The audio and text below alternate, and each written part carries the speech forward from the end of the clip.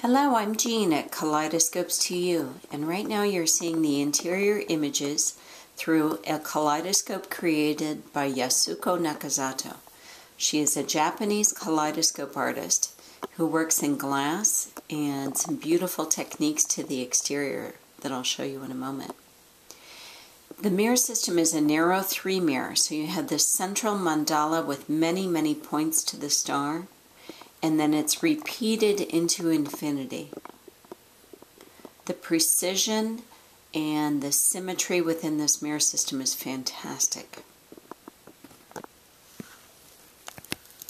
Allow me to show you the object chamber here that is creating all that beautiful imagery. It has pastel colors and gold of lampworked glass, and this gold is just a little bit of gold leaf, it looks like some dichroic and pastel colors, and delicate lamp working to get all that texture into the glass. The solder work onto the object chamber is very detailed, has a wonderful wave technique to it. And then the ends of the object chamber have the pressed glass underneath clear glass as well. So you don't feel any of the texture of the, the pressed gold glass there. There's a layer of clear glass over it. So traditional copper foil stained glass technique to build the kaleidoscope, but the panels of glass have clear glass over it.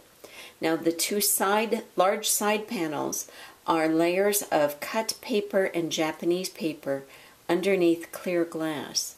So your exterior surface here is a, a glass surface, but you have the delicate flowers all cut out, and on this side you have birds and flowers all cut out of the paper as well. The side of the panel of glass features this beautiful technique with the layered handmade papers.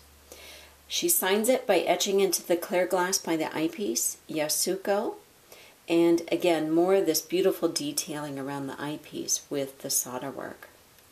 The eyepiece itself is clear glass with black underlaid under the clear glass. So it's a very crisp, clean surface.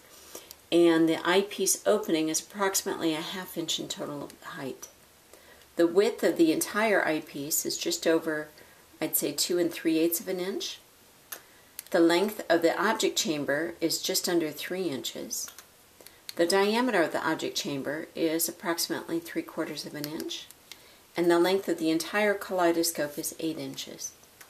This is a handmade glass and paper kaleidoscope with an oil-filled chamber created by Japanese kaleidoscope artist Yasuko Nakazato and this kaleidoscope is currently available at kaleidoscopes2u.com.